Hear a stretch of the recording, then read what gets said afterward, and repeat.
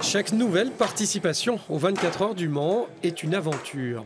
Cette fois, la voiture est une Oreca 7 équipée d'un moteur Gibson V8 de 600 chevaux.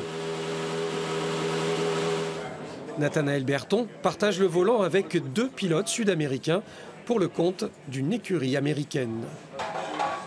On partage la voiture en fait, on n'est pas tout seul à, gagner ou à perdre la course.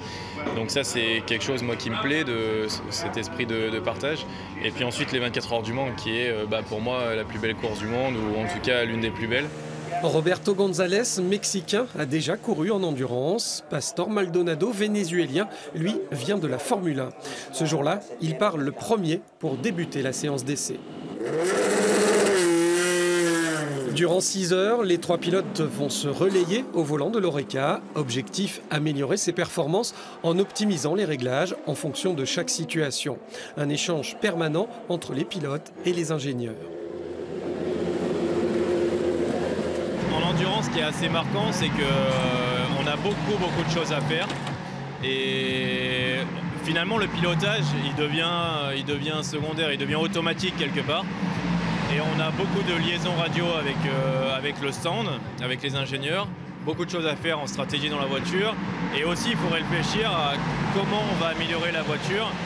Euh, quels sont les réglages qu'on peut faire sur la voiture pour que ça aille encore plus vite ou qu'on soit plus performant et endurant.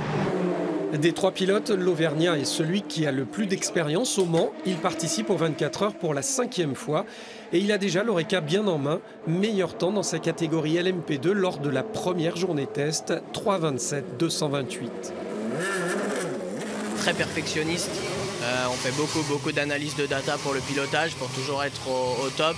Il a beaucoup d'idées, il, a il a commencé à avoir quand même de l'expérience sur ces voitures-là et au, et au Mans.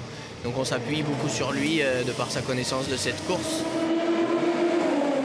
Euh, c'est plutôt très agréable de bosser avec lui, parce que d'une part c'est un bon pilote qui va vite et ça, c'est déjà le premier point, le point majeur. Mais en plus il a, il a un bon esprit d'analyse, il nous aide bien euh, pour progresser, pour peaufiner, pour aller un peu plus loin dans les réglages. Et ça c'est super agréable. C'est c'est vraiment quelque chose de très intéressant. Combien de champions du monde t'as eu, euh, Guy? 25. 25 champions du monde. J'espère que t'en auras 26. La respiration. Cette aventure au Mans, Nathanaël Berton la partage depuis un mois sur Internet. Des épisodes vidéo postés régulièrement.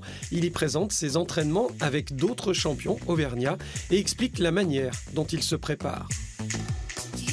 Physiquement, c'est un, petit peu moins euh, difficile que, la Formule 1 ou que, les types monoplaces qui sont plutôt sprint.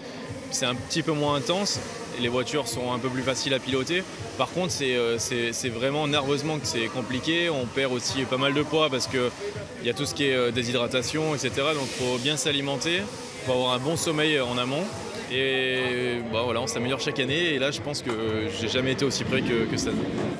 Et avec l'endurance, le pilote auvergnat participe cette année au championnat du monde WTCR des voitures de tourisme au volant d'une Audi. Une semaine après ses 24 heures du Mans, il sera au Portugal.